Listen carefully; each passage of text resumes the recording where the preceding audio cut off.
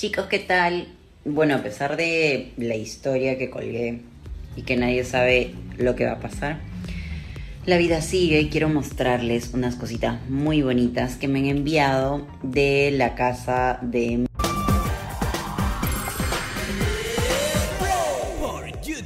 Ducelia Echevarría se pronunció en Instagram sobre los acontecimientos que está llevando el popular reality Esto es Guerra, tras las declaraciones de sus compañeros, puesto que están a la espera de la llamada del productor Peter Fajardo. ¡Yay! El 25 comienza esa guerra y obviamente Peter me llamó. A diferencia de Rafael, a mí sí me llamó. Amor, no fue Peter, fue Piti, el señor del gas. ¿Qué?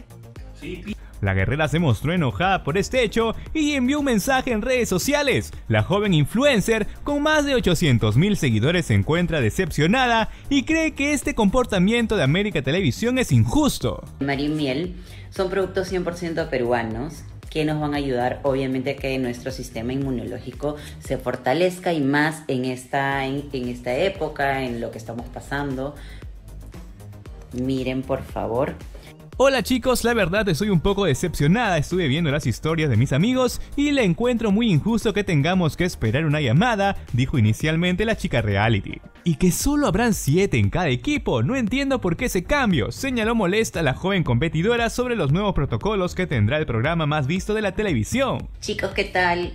Bueno, a pesar de la historia que colgué y que nadie sabe lo que va a pasar, la vida sigue y quiero mostrarles unas cositas muy bonitas que me han enviado de la casa de... Esto es Guerra volverá el lunes 25 de mayo desde las 6 y 50 de la tarde en las pantallas América Televisión. El programa vuelve con los protocolos y medidas de seguridad que el Estado decretó para evitar la propagación del COVID.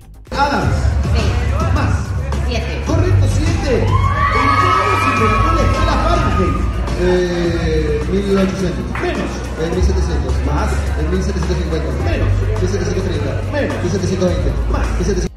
Tenemos más información para ti, suscríbete, dale like y sé parte de Break.